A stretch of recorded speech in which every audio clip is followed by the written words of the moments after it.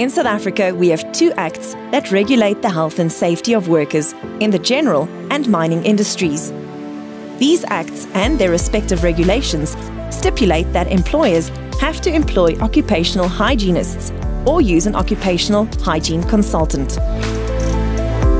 Occupational hygiene has to do with recognizing, evaluating, and controlling health hazards in the working environment.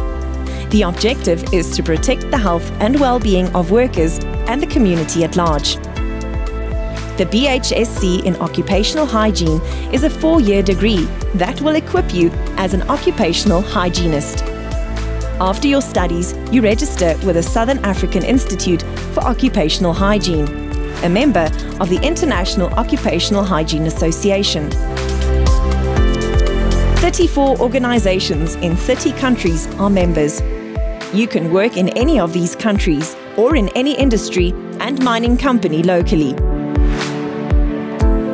Do you want to protect the health of workers? Study the BHSC in Occupational Hygiene.